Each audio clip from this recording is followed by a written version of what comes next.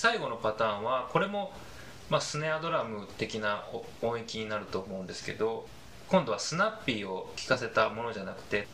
スナッピーを外したような音だとかあとはカホンとかよりクリアな音もうこの弦のチャっていう音が入らないようなそういう音が鳴るパターンを紹介したいと思います。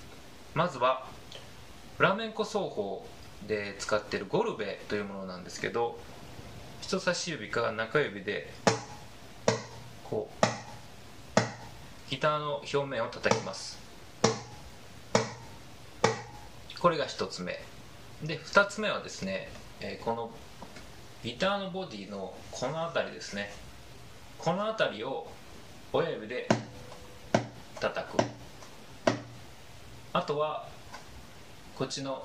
親指以外の方ですね。こっちの方で叩く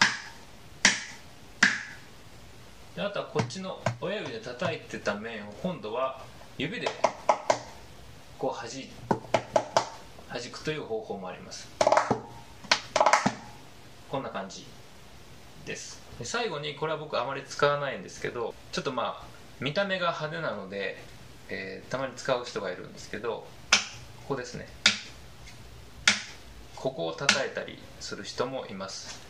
えここを叩く時にですね指輪なんかをはめてここを叩くとまたちょっと違った音が鳴るのでちょっとやってみましょうか。